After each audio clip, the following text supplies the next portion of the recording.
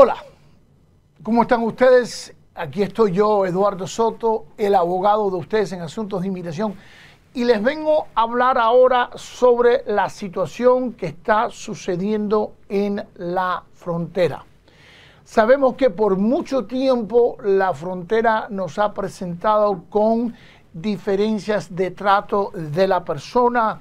Eh, hace unos años atrás existía el programa del MPP, que todavía existe, pero no están recibiendo nuevos miembros en ese programa.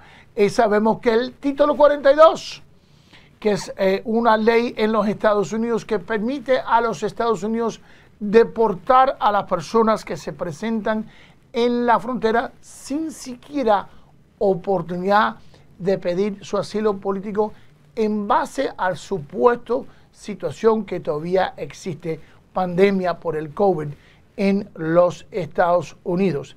Y sabemos que por un tiempo, ya hasta hace dos o tres semanas nada más, a muchas personas, nicaragüenses, venezolanos, cubanos, cuando entraban y se presentaban de forma ilegal solicitando el asilo, los estaban pasando y los detenían por unas horas, unos días, algunos una semana o más, pero los soltaban y los soltaban de manera diferente. A algunos les daban un parol, a otros les daban lo que se llama el I-220A y otros lamentablemente, eh, muy pocos, pero sí existía el que lo ponían en, libertad con un orden de deportación.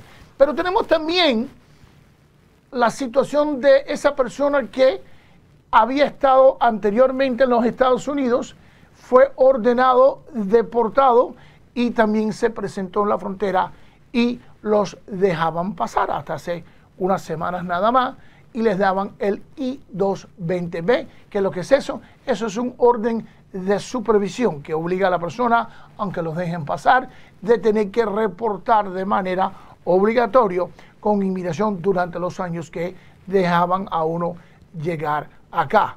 ¿Qué ha pasado? Ahora nos llega a nuestros oídos, por lo menos en el caso de muchos cubanos, ya no los están en gran mayoría soltando inmediatamente después de haberse presentado acá. Vuelven a la postura que existía durante la presidencia de Donald Trump.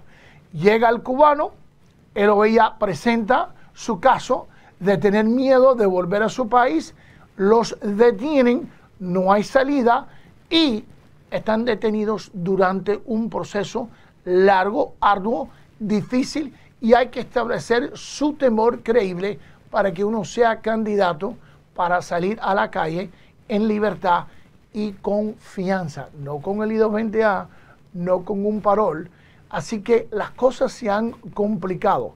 Y ahora nos llega las noticias hace solamente 48 horas de que el título 42 ha sido suspendida.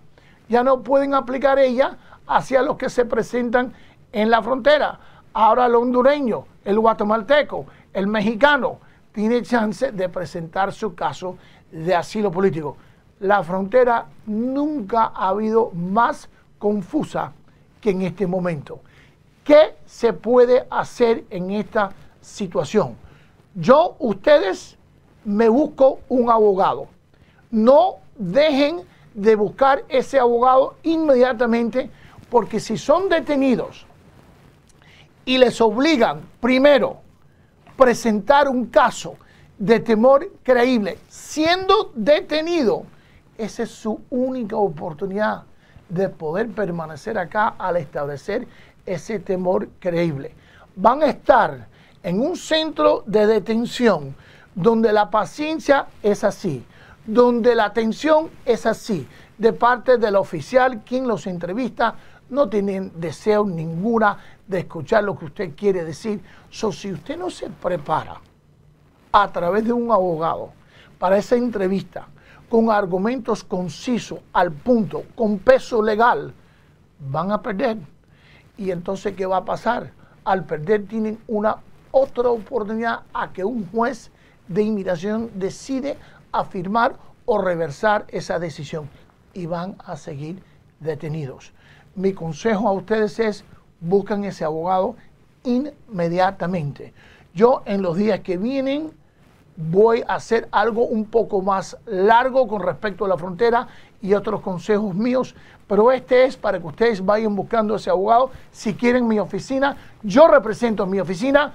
Muchos de ustedes, aunque se encuentran en Texas, Louisiana, Georgia, no importa dónde está su ser detenido, los vamos a representar. Muchísimas gracias, Eduardo Soto. El número mío, 305-446-8686, para que me escriben por correo electrónico info. Los quiero mucho, los veo pronto.